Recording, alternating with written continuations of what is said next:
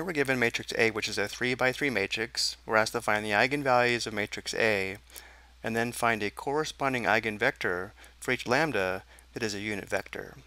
So we'll first find the eigenvalues by solving this equation here for lambda, where we have the determinant of the difference of lambda i and a equals 0, and then we'll find all the eigenvectors of A corresponding to each lambda, which are the non-zero solutions to this equation here. Once we find the eigenvectors, we'll then find a unit eigenvector for each lambda.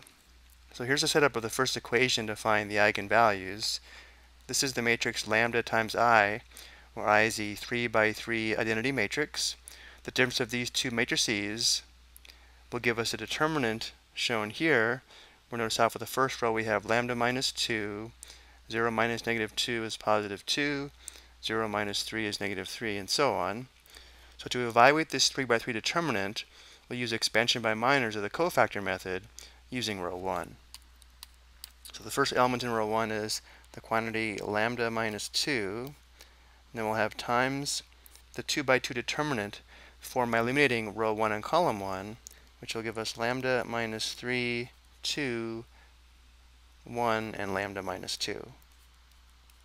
Then we have minus, the next element in row 1 is 2, times a 2 by 2 determinant formed by eliminating row 1, column 2. So we have 0, 2, 0, lambda minus 2, plus the third element in row 1 is negative 3, and then we have times the determinant formed by eliminating row 1, column 3. So we'd have 0, lambda minus 3, 0, 1 and this must equal 0. And now the value of each 2 by 2 determinant is equal to this product minus this product.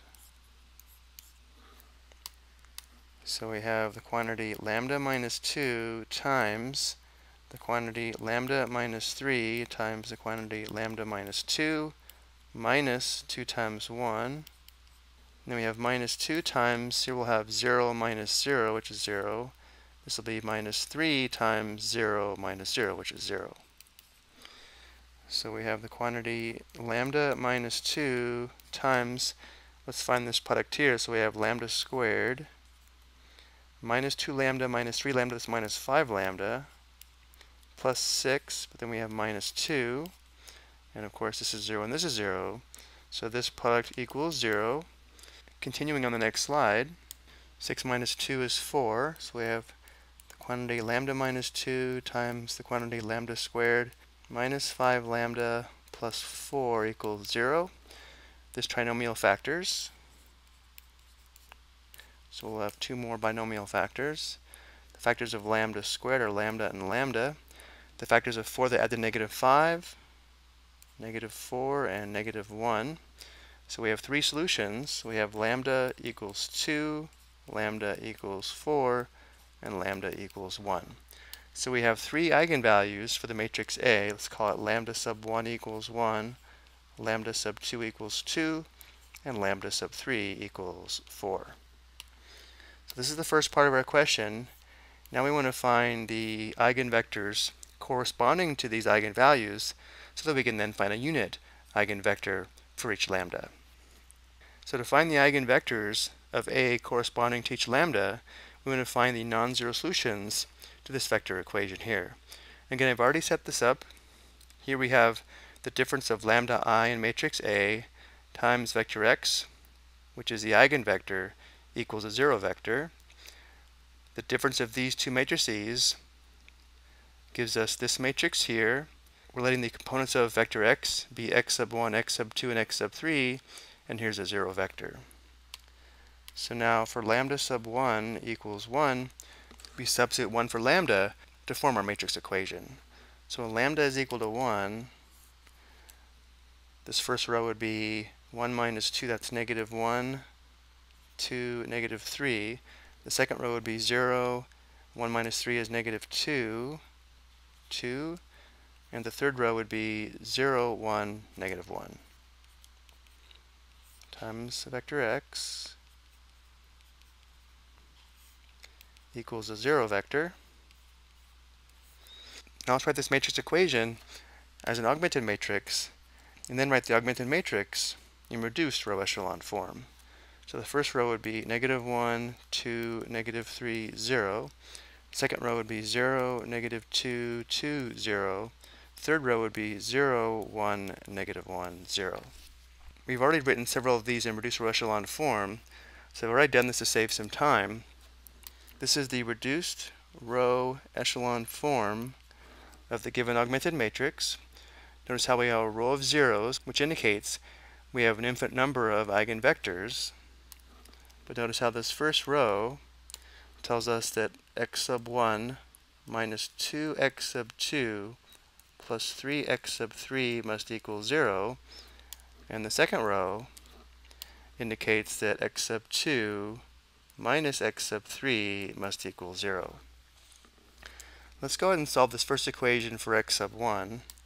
So we'd have x sub 1 equals 2 times x sub 2 minus 3 times x sub 3.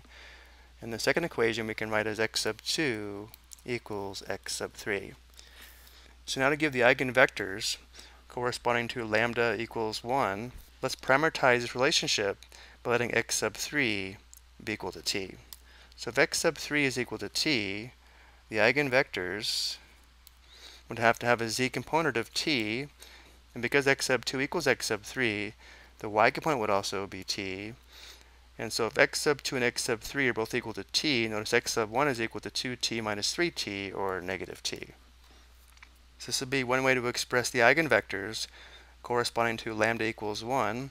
We could also write this as t times the vector with an x component of negative 1 a y component of 1 and a z component of 1, where again t can't equal 0 because the eigenvector must be a non-zero solution. But the question asks for a unit eigenvector. So for one eigenvector, if we let t equal 1, we'd have the eigenvector v with an x component of negative 1, a y component of 1, and a z component of 1, which means a unit eigenvector would be equal to vector v divided by the magnitude of vector v. The magnitude of vector v would be equal to the square root of negative 1 squared plus 1 squared plus 1 squared, which would be the square root of 3. So one unit eigenvector would be the vector with an x component of negative 1 divided by square root 3, a y component of 1 divided by square root 3, and a z component of positive 1 divided by square root 3. But we could also give the unit vector in the opposite direction, so let's call this unit vector sub 1, and let's say unit vector sub 2, again, could be the opposite unit vector, so we would just change the sign of each component. So we'd have 1 divided by square root 3, negative 1 divided by square root 3, and negative 1 divided by square root 3. Either of these last two unit vectors would be a unit eigenvector corresponding to lambda sub 1 equals 1. Now I need to go through the same process for lambda sub 2 and lambda sub 3. So for lambda sub 2 equals 2, we substitute 2 for lambda in our matrix equation. So our matrix here would be 0, 2, negative 3, then 0, negative 1, 2, and 0, 1, 0. So the corresponding augmented matrix would be a 3 by 4 matrix, where the first row would be 0, 2, negative 3, 0. Second row would be 0, negative 1, 2, 0. Third row would be 0, 1, 0, 0. The next step is to write this in reduced row echelon form, which again, to save some time, I've already done. Notice how this first row indicates that x sub 2 minus 3 halves x sub 3 equals 0. And the second row indicates that x sub 3 must equal 0. So let's write this first equation as x sub 2 equals 3 halves times x sub 3 and x sub 3 equals 0. So the eigenvectors corresponding to lambda sub 2 equals 2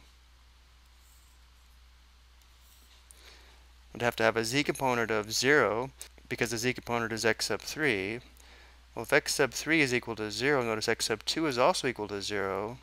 So let's go ahead and let x sub 1, or the x component, be equal to t. So this is one way to express the eigenvectors corresponding to lambda sub 2 equals 2.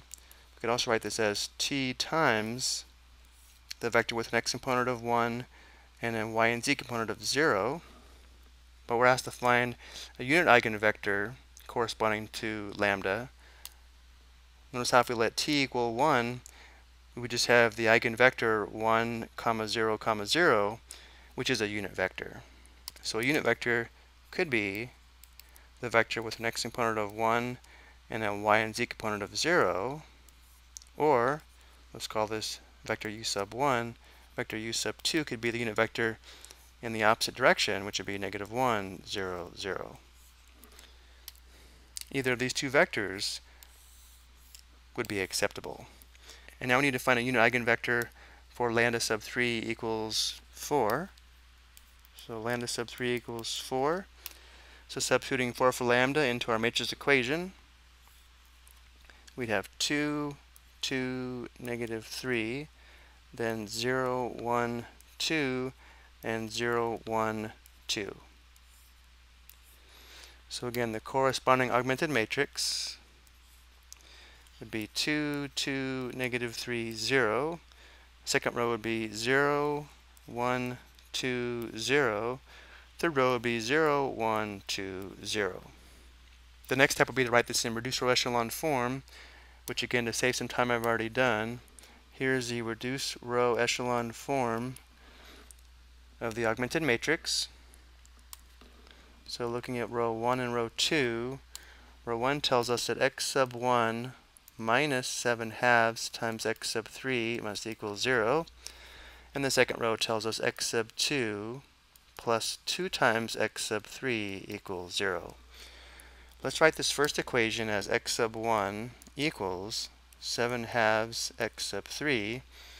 And let's write the second equation as x sub 2 equals negative 2 times x sub 3. Let's parameterize this using t. So we can say that the eigenvectors corresponding to lambda equals 4 would be the vectors in the form if x sub 3 of the z component is equal to t, then x sub 2 of the y component would be negative 2t, and the x component, or x sub 1, would be equal to 7 halves t. Now if we did want to clear this fraction here, we could multiply by 2. 2 times this vector would give us a vector with an x component of 7t, a y component of negative 4t, and a z component of 2t. Or we could also write this as t times the vector with an x component of 7, a y component of negative 4, and a z component of 2. Where again t can't equal 0. So this would be all the eigenvectors corresponding to lambda equals 4. Remember, our goal is to find a unit vector. So if we let t equal 1, one eigenvector, vector v, would have an x component of 7, a y component of negative 4, and a z component of 2. So if we wanted to find a unit eigenvector, we could let the unit vector be equal to vector v divided by the magnitude of vector v, where the magnitude of vector v, we'll show this one, is equal to the square root of 7 squared plus negative 4 squared plus 2 squared, which is equal to the square root of 49 plus 16 plus 4 is equal to 69. So the magnitude is equal to the square root of 69. So one unit eigenvector would be the vector with an x component of 7 divided by the square root of 69, a y component of negative 4 divided by the square root of 69, and a z component of 2 divided by the square root of 69. So this would be one unit eigenvector, let's call it vector u sub 1, but we could also give the unit eigenvector in the opposite direction. So let's say vector u sub 2, which would just be the opposite vector, so we'd have negative 7 divided by the square root of 69, positive 4 divided by the square root of 69, and negative 2 divided by the square root of 69 either of these two unit vectors would be correct. I hope you found this helpful.